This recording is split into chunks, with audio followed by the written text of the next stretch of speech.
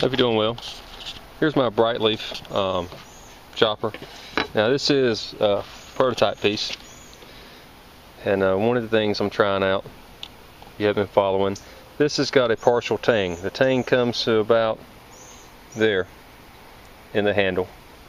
So it's, uh, I don't know, four and a half or so inches long. Starts about here.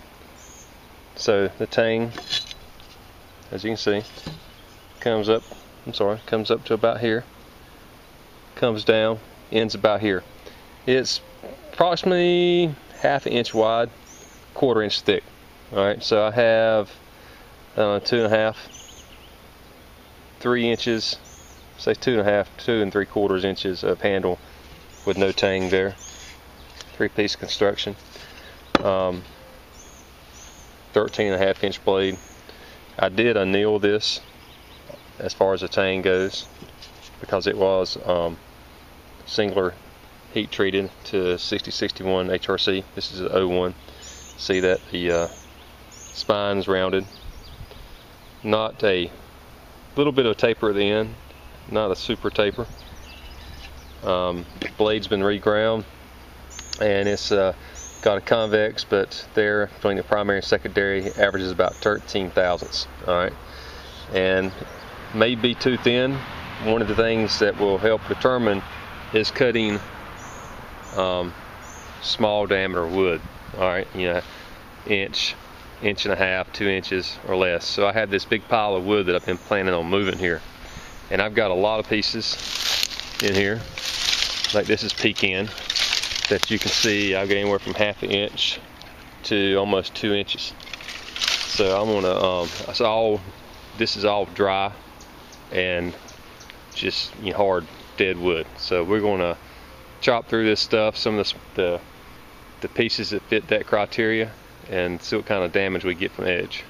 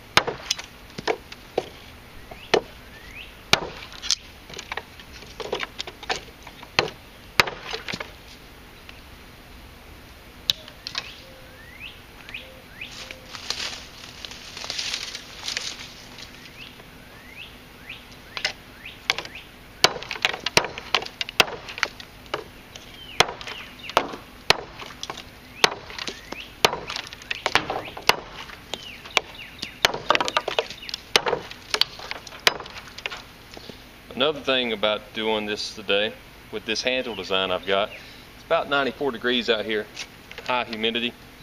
So if I had any uh, handle slipping problems with my hands wet, I'll find out pretty quick.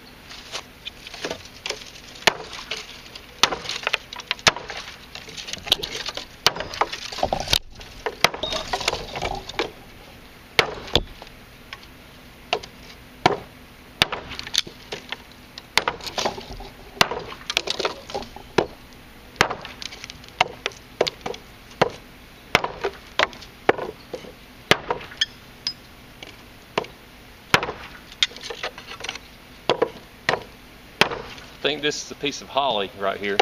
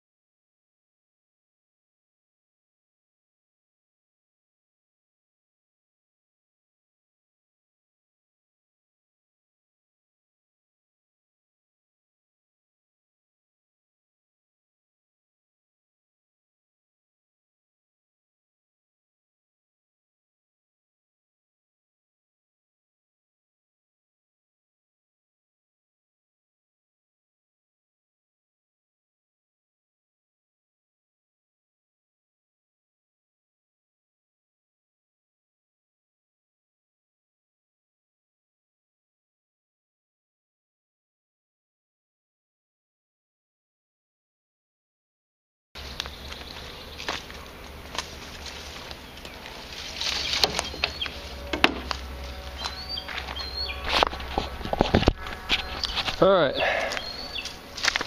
So that's all I feel like doing today. So let's look at this edge.